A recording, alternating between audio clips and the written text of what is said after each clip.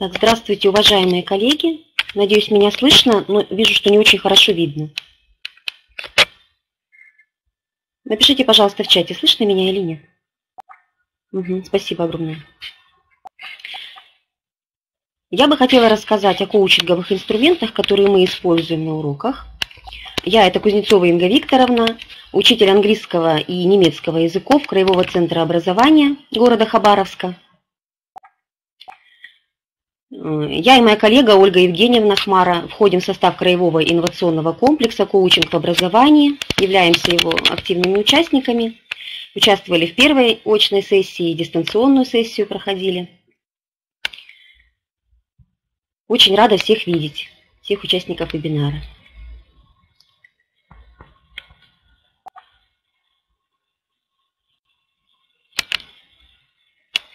Понимая, что задача образовательного процесса сегодня состоит не столько в передаче знаний, умений, навыках, а сколько в личностном результате учащегося, мы искали технологии, которые нам бы помогали решить эти задачи.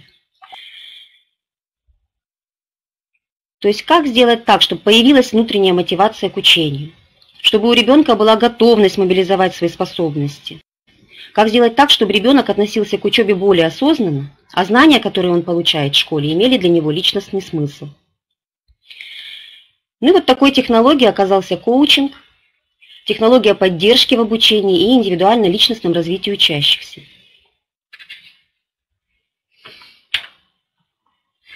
Коучинг может считаться успешным только в том случае, если учащийся приходит к внутреннему пониманию необходимости учебной деятельности –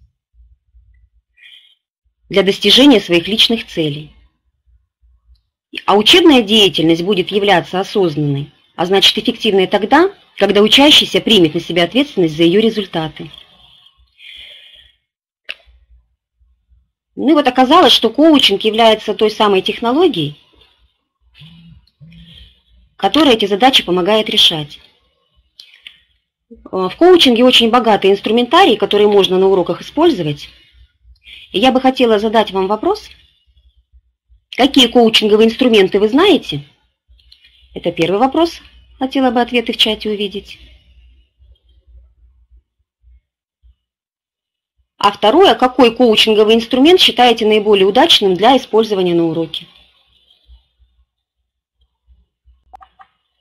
Так, сильные вопросы вижу, шкала. Еще, пожалуйста. А, пирамида, колесо.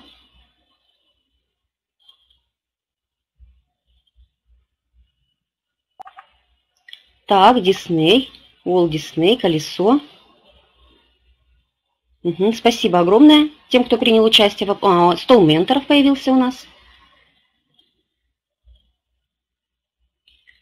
А теперь скажите, пожалуйста, какой из тех, которые вы назвали инструментов, наиболее удачным считаете для использования на уроке? Угу. SMART, постановка цели по SMART. Вопросы сильные. Угу.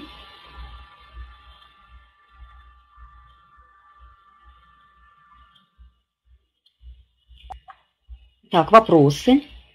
Да, действительно, вот этот инструмент «Сильные вопросы» можно использовать на любом этапе урока, и на этапе целеполагания, и на этапе проработки материала, и когда рефлексия проходит третий этап урока.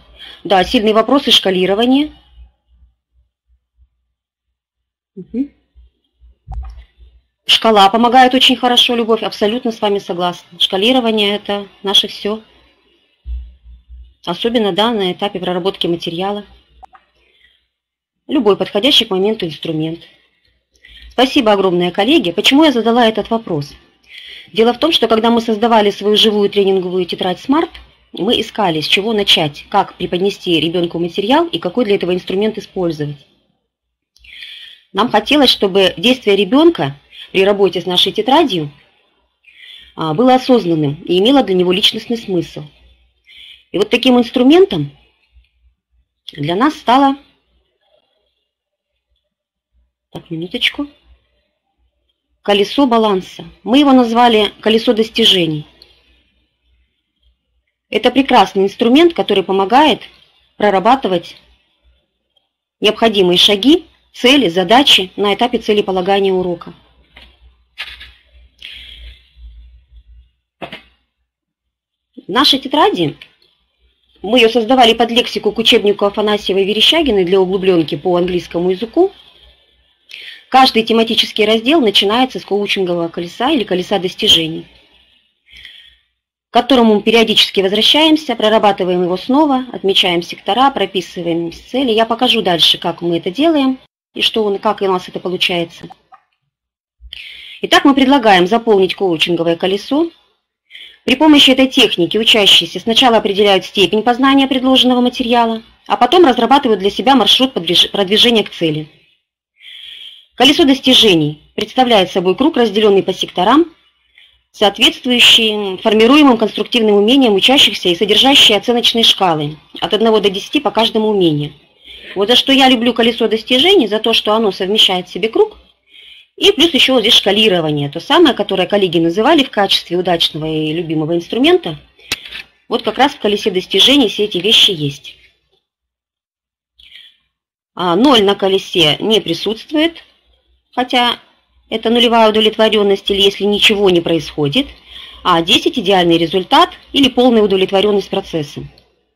В зависимости от темы деятельности, сроков, личных предпочтений ученика сектора могут различаться – они действительны для этого ученика в этой ситуации и именно сейчас.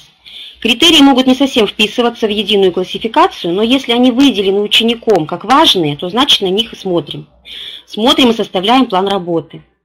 А, в нашем колесе выделены 8, 8 секторов, а, ну их может быть, к примеру, 7, 6, 5, 4. Да, то есть все это зависит от того, какая тема деятельности, что будем прорабатывать, какие цели перед собой ученик ставить. Вот таким образом он это колесо наполняет своим содержанием.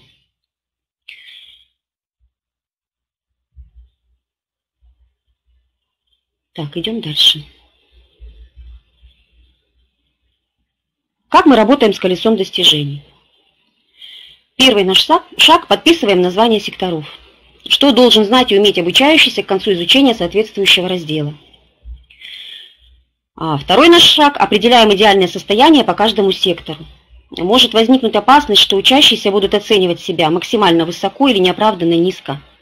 Но здесь как раз идет формирование оценки самоконтроля, очень важных вещей, э, над которыми мы сейчас работаем и отдельную тему разрабатываем, потому что ну, действительно вещи очень важные. Поэтому важно проговорить с детьми, что будет являться для них идеальным результатом. Если есть понимание идеального результата, тогда можно себя более-менее адекватно оценить. Примерные вопросы при работе с колесом достижений. Это движение снизу вверх. Что для тебя 10? Что будет являться идеальным результатом? В какой точке ты сейчас находишься? Опиши, пожалуйста, подробнее. Если сдвинуться на один балл выше, в чем будет разница? Что будет иначе? Если еще на один балл? И так пока не дойдем до 10. А есть движение сверху вниз.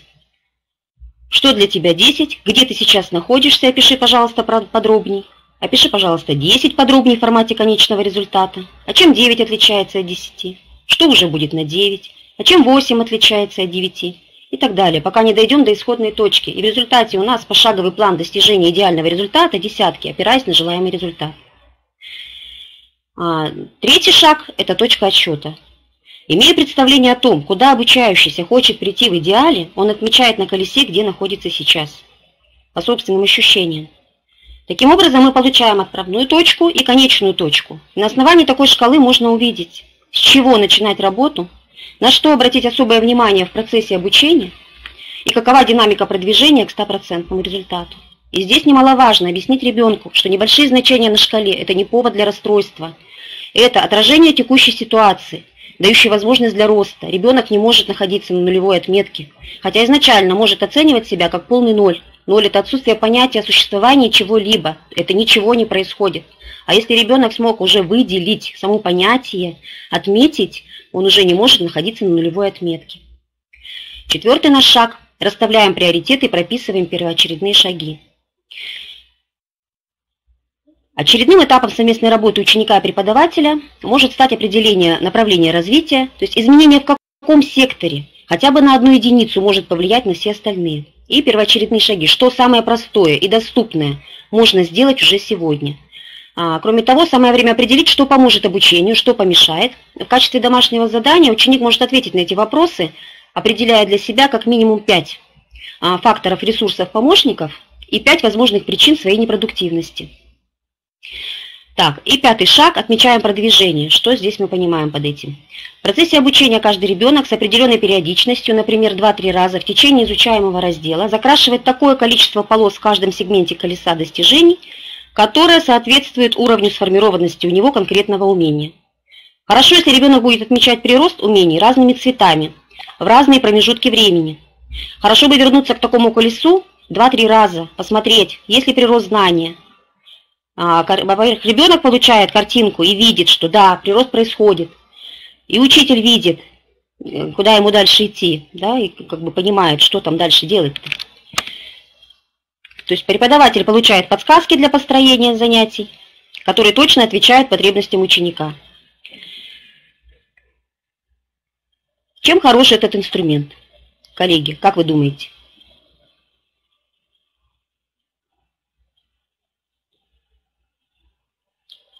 Ну вот пока вы думаете, чем же он хорош, я вам покажу колесо достижений. Вот здесь у нас Mein Schultag, это с урока немецкого языка. Мы прорабатывали четыре тематических раздела, прописывали, чему должны научиться. А, дни недели, время суток,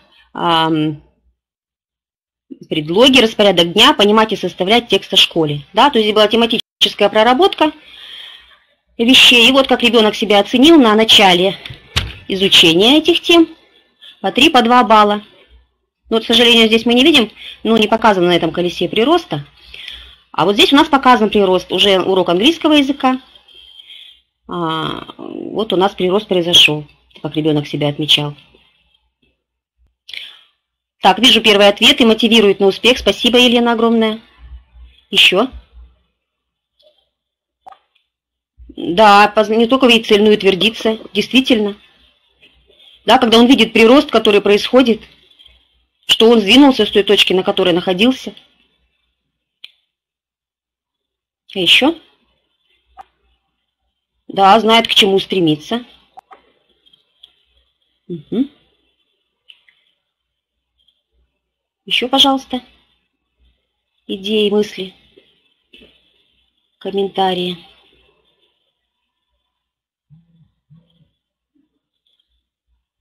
Вот оно поближе, коучинговое колесо мы видим. I want. Uh, I know words. I can talk about my world. I know countries. Прописаны тематически. Так, учится анализировать. Верно, Анна.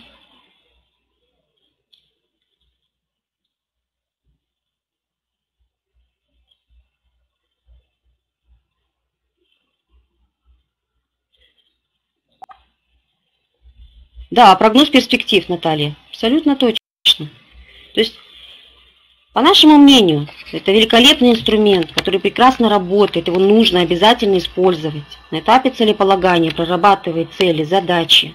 А, шаг мы имеем продвижение, а, знаем, куда идем, зачем мы это делаем.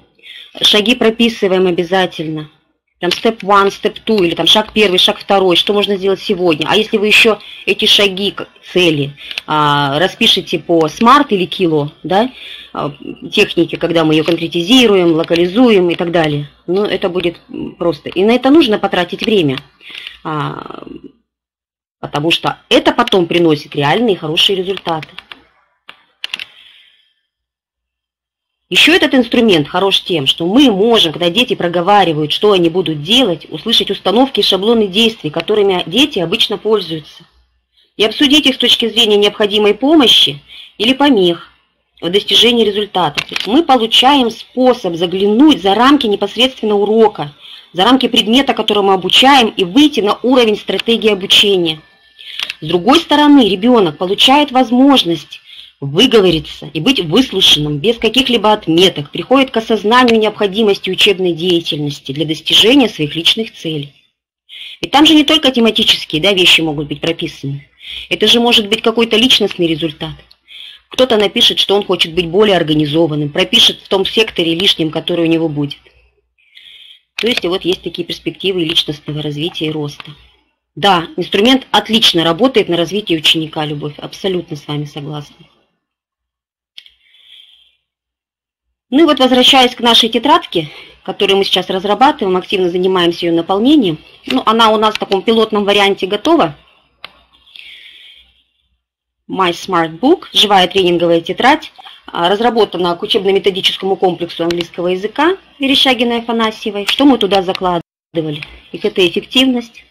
У нас там очень много интерактивных вещей, ссылок на разработанные нами ресурсы в облачных сервисах, готовые абсолютно тренажеры для проработки лексики. Это умное целеполагание. Под умным целеполаганием мы рассматриваем как раз этот этап, когда мы прорабатываем наши цели, с чем мы работаем, как прописываем очередные шаги, не очередные, а вообще шаги по продвижению к цели. интеллектуальное развитие. Мы туда закладывали упражнения, которые развивают когнитивные способности учащихся. Мы специально отбирали, читали специальную литературу для того, чтобы их качественно сделать. И чтобы они принесли учащемуся максимальную пользу. И, само собой, изучение английского языка, хотя это не первая цель была при создании этой тетради. То есть изучение лексики здесь не в, первой, не в первую очередь. Вот здесь как раз нам хотелось, а, чтобы и мобильное обучение было с использованием гаджетов, потому что мы-то прекрасно понимаем, что поколение Z должно формулировать, для поколения Z, детей, которых мы сейчас учим, мы должны формулировать задачи, используя разные сервисы программы, менять инструменты, использовать как можно больше технологий, не отнимать возможность использования интернета, всевозможных социальных сетей, ну и учить естественной безопасности детей в интернете. И вот для нашей тетради в качестве основного инструмента, очень важного, мы выбрали колесо баланса, колесо достижений, коучинговое колесо. Великолепный инструмент, прекрасно работает на этапе целеполагания. Ну вот лучше я не встречала. Э, тем более, что мы уже постоянно это используем. И поверьте, результаты великолепные. Так, идем дальше. Ну, вот так выглядит коучинг Will в нашей тетради. И как мы ставим задачу для ребенка. We are going to work during two or three weeks on this chapter, and this is the time to plan the work. То есть мы ставим ему задачу, что для начала нужно распланировать работу свою. Так, сейчас я немножко пройду дальше. И вот когда мы все это делали и свою тетрадочку разрабатывали, мы подумали, а почему бы детям не поделиться своим успехом? Мы предлагаем детям, и для этого создали специальную площадку, сайт mysmartbook.weebly.com. Адрес сайта есть у вас на экране, где мы предлагаем детям поделиться своими колесами достижений. То есть они должны перейти на страничку нашего сайта, найти страничку Will, колесо, загрузить его, через один-два дня оно появится, и все смогут посмотреть, какого успеха этот ребенок достиг. Более того, каждые 10 дней будет разыгрываться специальный приз. Лучшие колеса получат специальные бейджи. Так что вот у нас такой проект, и мы бы хотели, чтобы дети в нем активное участие приняли и чтобы их колеса не остались без внимания. И другие смогли оценить, да, каким образом ребенок продвинулся в изучении предлагаемой темы. Так, сейчас минуточку. Вот так выглядит стартовая страница нашего сайта. Never ever give up, никогда не сдавайся. My Smart Book. Обращение к учащимся, Friends. Ну, к сожалению, здесь очень мелко, но на самом деле там есть э, что почитать и чему научиться. Эм, мы бы хотели, чтобы и детям это интересно было, и у них такая возможность была свои достижениями и похвастаться, и поделиться в сети. И хотелось там элементы геймификации сюда привнести, чтобы это и какой-то соревновательный момент имело, для того, чтобы детей увлечь, и чтобы они смогли научиться э, с целями своими работать. Да, ссылочку размещу на сайт. Он еще у нас наполняется, мы туда еще планируем разместить методические рекомендации по работе с коучинговым колесом, те, о которых я сегодня говорила.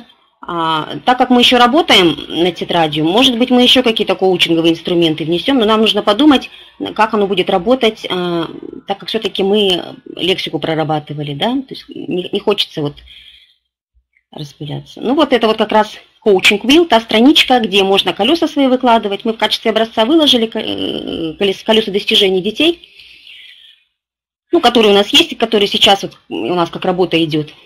Вот сегодня был урок немецкого языка, и мы прорабатывали уже прирост знаний. Надо сказать, что, например, с отметки 2-3 уже идет 7-8. Осталось два шага до идеального результата. Вот прям прописывали, а, конкретизировали, а, понимали, чем желание цели отличается. И такая работа важна. И спасибо коучинговым технологиям, что такие инструменты нам дали, потому что нам их действительно не хватало.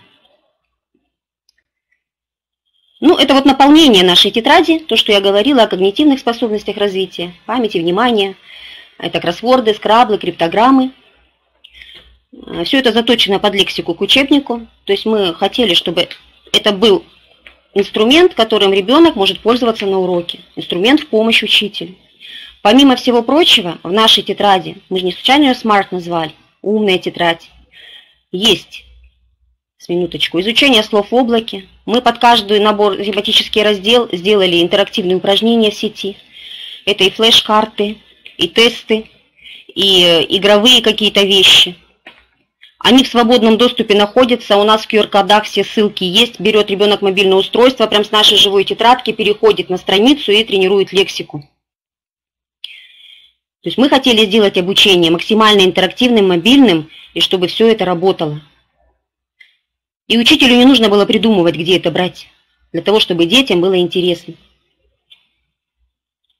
Живые слова и истории. У нас там заложены а, и Scribe, и всевозможные... Там мы разные программы подобрали для детей, для того, чтобы они имели возможность эти истории из слов, которые мы предлагаем, а, составлять. Или оживить какое-нибудь слово. Там у нас разные интересные задания. Так, идем дальше. А, у нас в этой же тетрадке проекты с приложениями дополненной реальности. Причем мы прям саму тетрадь наполнили этими картинками, которые оживают при наведении на них мобильного устройства с заложенной специальной программой. А, Все это в тетради будет, и прописаны, какие программы нужно загрузить для работы с этими приложениями. Причем это ведь не просто красивая картинка или там оживший проект. У нас там интересные задания придуманы для детей. То есть это не развлечение ради развлечения, да, это вот как раз нам хотелось сделать, чтобы это было фан, но с максимальной пользой для ребенка.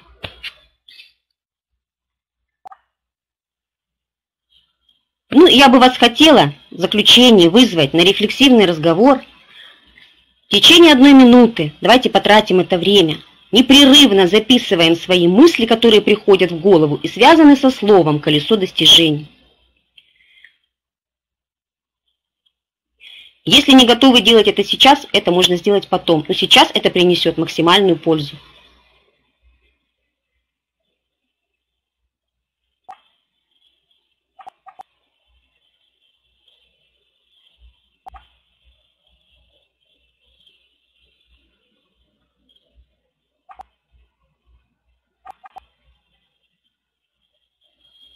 Угу.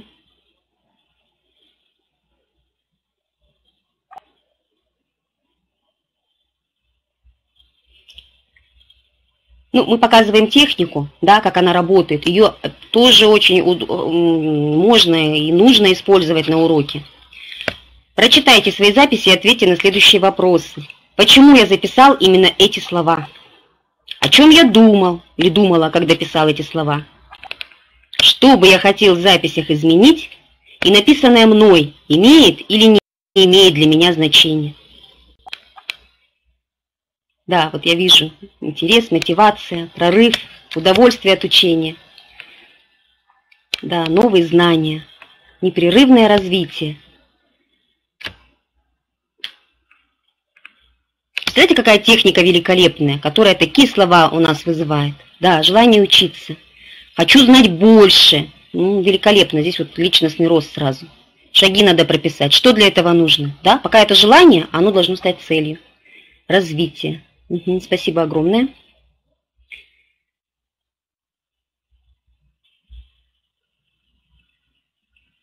А, вот для тех, кто заинтересовался нашей тетрадью и в дальнейшем, может быть, хотел бы с ней работать а, и приобрести для работы со своими учениками, я оставляю контактную информацию. Это я и моя коллега Ахмара Ольга Евгеньевна. Здесь наш адрес электронной почты.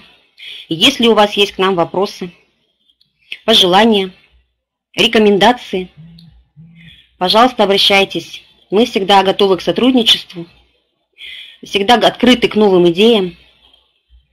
Да, я вас тоже обожаю, Наталья. Спасибо огромное. Все, всем до свидания.